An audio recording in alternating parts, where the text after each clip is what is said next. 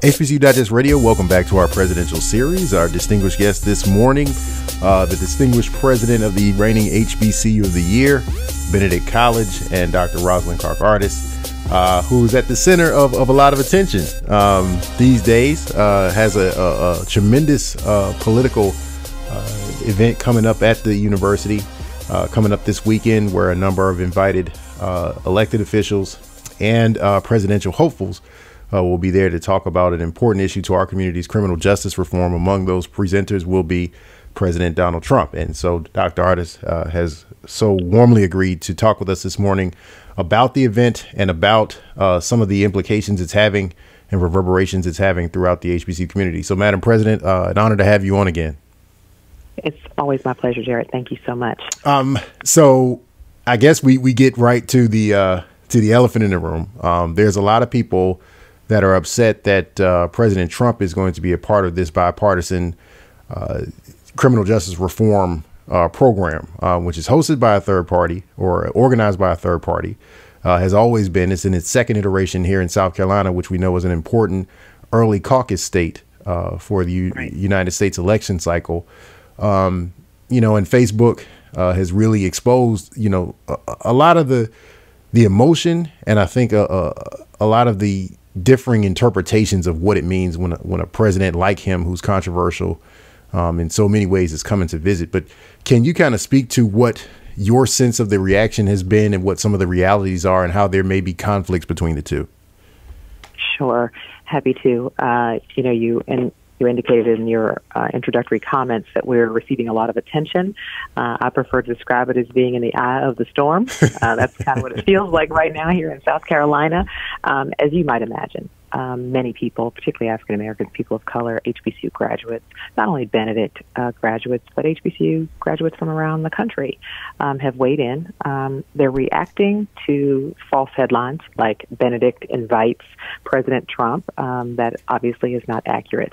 The reality is that uh, 2020 uh, Justice Forum, which is a bipartisan group of African American leaders from around the country, uh, Democrats, Republicans, Independents, who have come together under one umbrella for the sole purpose of advocating for issues that are of importance to the African American community, and criminal justice reform is at the top of that list. I am a part of 2020. Um, and count myself among those leaders who care about these kinds of issues and recognize that we have to address them in a bipartisan fashion. It really doesn't matter who is in the Oval Office, we have to work through that system um, with where the seat of the power is. And so I think people's emotional reactions to Donald Trump and the misunderstanding of how this came to be, the idea that we extended a personal invitation to Donald Trump to come to an HBCU campus, um, have caused people to be a little irrational. Um, understand that well founded um, comments like those that were tweeted out earlier in the week have certainly elevated the conversation, uh, inflamed people, as you might imagine this isn't the first time, and unfortunately, it won't be the last time. Our president says something um, incredibly controversial. Mm-hmm. Uh, at this point, I'm pretty certain it's purposeful, right? Um, and yet, we have to stay focused. Um, very often, those are diversionary strategies by people in power. Um, we know that in this White House, um, lots of sensationalism comes out, um, and some of that is a diversion. I mean, we're in the middle of an impeachment proceeding, for goodness sake. Mm-hmm. Uh, we're in the middle of, you know, a, a crisis in Syria. So if everyone can be taken off task by the use of a horrible word, lynching, and not be focused on those other issues, um, then all all the better. And I think we as African American people have to cut to the chase on that. We have to be clear, we have to be focused, we have to stay on message, and we have to be committed to making sure that meaningful change continues, meaningful change that impacts our communities. That First Step Act was a big deal. Mm-hmm. Thousands of people are going to be released from prison that look like us. Right. And we can't be just self satisfied with that. We can't just say, check done, we got that done. We have to keep pushing. We have to keep asking the tough questions. We have to keep pushing the candidates, both Democrat and Republican, um, on that issue and others like it. And so it's unfortunate. Um, I realize it is not a popular position. I realize that people are uh, upset, and yet my purpose is clear. My focus is clear, um, and I think we would all um, be well to really begin to step back from the person in the office and look more at the process of how laws get made and change and how we can be activists in that in that system and how we can work for positive change for people of color in this country, Republican, Democrat, and Independent alike. Let's talk about that a little bit because it this is not the first era that HBCUs have been kind of at a fault line politically. Um, this is going back generations. HBCUs have largely been and historically been seated in places um, where there are conflicting politics with HBCU graduates and, and black residents and, and folks in power. Um, but yet, as you mentioned, our schools, public and private, still have to work with state and federal legislators for funding, uh, for advocacy, mm-hmm. uh, and for development. So, where do you think that the future of helping our students, our graduates, our stakeholders understand that political process, even though institutions and their leaders have to be apolitical? do you think that there's something we can do to to connect our communities more with political realities and political processes? So I think we're doing it. Um, I dare say we're doing it here this week. I, I hope that it's a model. Um, I don't take any particular pride in being in the storm, except that what's being lost in this conversation is the entirety of the programming this week that's happening on the campus of Benedict College. We had Ben Crump on campus Friday discussing his new book, Open Season, which ought to be a bestseller um, that really chronicles the inequities in the criminal justice system. We have the NAACP on campus starting Monday doing voter education, voter registration. We have the Her Ideas Summit encouraging black women to go out and start businesses and build communities. Um, our kids are going to have an advanced screening of Just Mercy, uh, which obviously chronicles the atrocities of our justice system. So this is not just candidates parading through here and dropping sound bites on black kids. Mm-hmm. This is a voter education, empowerment, issue oriented week of activities on the campus of Benedict College.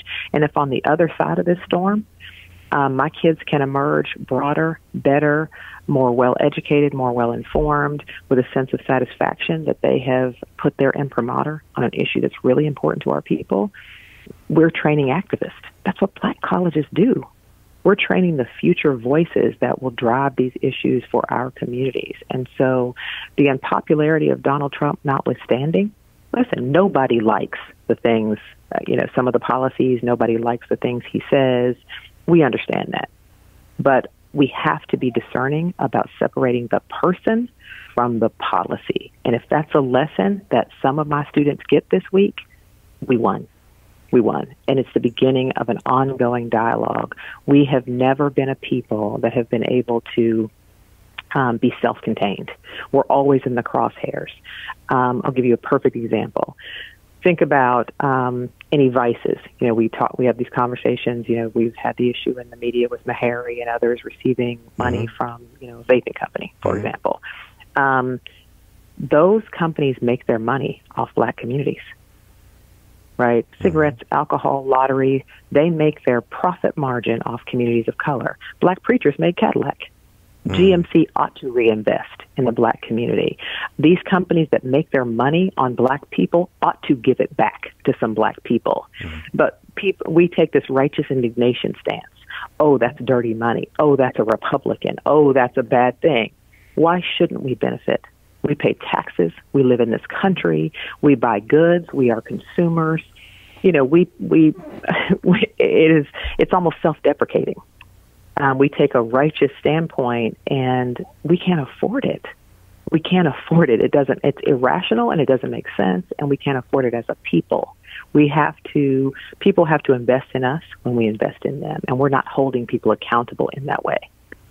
Are you worried and, and I don't mean any disrespect, but it, from the question, but I think it's something that people are wondering. You who have gotten a long term extension for the work that you've done at Benedict, HBCU of the year, HBCU president of the year. Are you worried about your job because of this? Um, so really interesting, Jarrett. Yesterday, I had back-to-back listening sessions with every student on this campus. Mm. Uh, I wanted them to hear from me. why and how this is happening, how they can prepare themselves, what our expectations are of them for the week, and to be able to ask me any questions um, that they might have. And one of the students stood up and said, How did you feel when you got the news that Donald Trump was coming? And I said, My stomach dropped and I was scared because I knew it would be unpopular.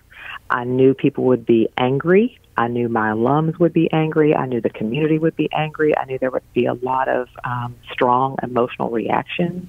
Um, I knew there would be the mis, you know, misinformation floating around about how it was that he came to be on campus.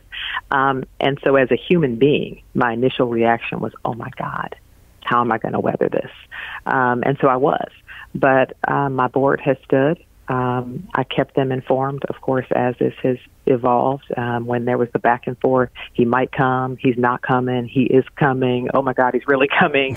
um, so I kept them informed all along the way. Um, I think every president knows, right? Don't surprise your board. And so, you know, I took some backlash. Oh, she negotiated this deal in secret. Nope, actually, I didn't. My cabinet and board were very well aware during this entire process that it was a possibility. And when we got official word, of course, even when we had a hint, we started informing the board in writing and verbally. So the board has been incredibly supportive. Um, they're committed to stand. My board chair is flying in to greet the president, and uh, my finance committee chair is flying in tonight.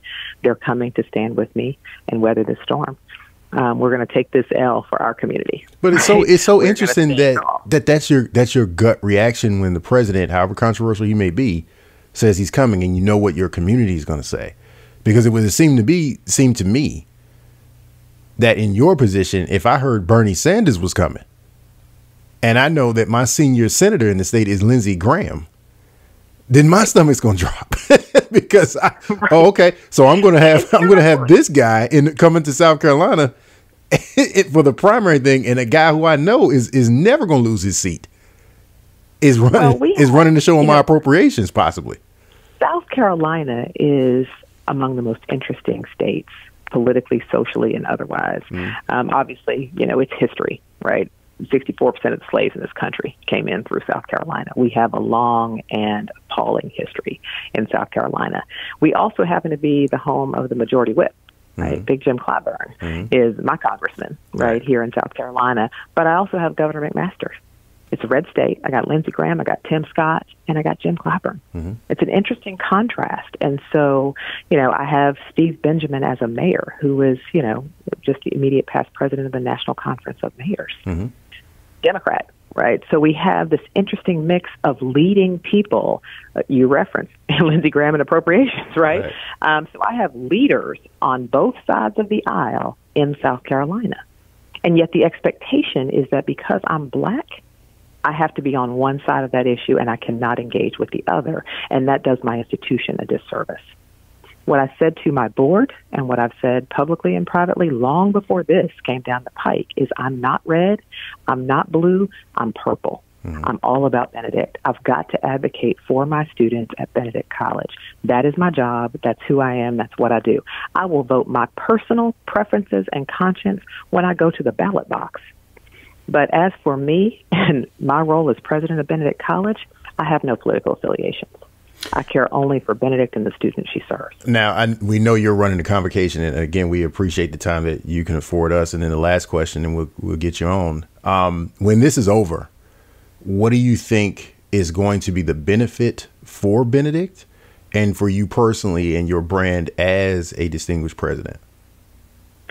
So again, I harken back to my students because they're kind of the point of it all. Um, question I got from the student: Is this going to put us on the map, Doc?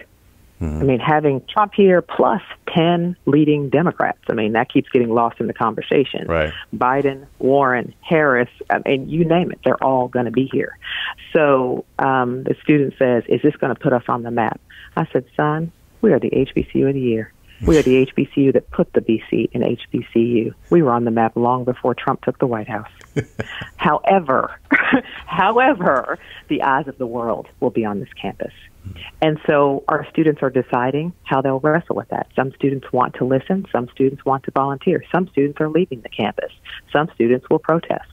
Um, and they are free to express themselves in the ways that they see fit.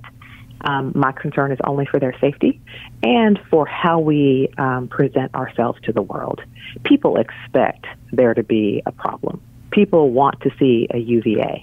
And what I've said to my kids is that's not who we are. We are the best of BC. We are bigger than this. This is a moment in time when the world is watching Benedict College. Let's show them who we are. Let's be intelligent. Let's be disciplined. Let's be clear. Uh, they will not see angry mobs of Benedict students. If you see that on the news, you best believe those are not Benedict students out there. Those are kids that come from USC and other places. um, we've seen this happen before. I mean, we've That's seen right. this happen before. Look That- at Dillard. that's we saw right. it happen at Dillard with David Duke. Those That's were right. not Dillard students. Yeah. Those were not Dillard students.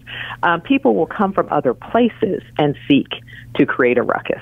My kids are prepared. My kids will be the ones with the Our Voice, Our Vote shirts on. The disciplined kids who are um, advocating, who may protest, but will do so with a sense of decorum and pride in who they are as a people because they genuinely feel in their hearts this person's not for me. And so, you know, I hope that uh, the aftermath is that people who didn't know Benedict before know Benedict and they know us in a good light. They know us for being um, open minded. They, they know us for being um, willing to participate in a process that seeks to, uh, that is supposed to serve us, but has not always served us well. Candidates in the future need to know Benedict votes. Benedict students are engaged, connected, intelligent, and prepared, and they're going to have to be accountable to Benedict College students and graduates and generations that will come out of this institution.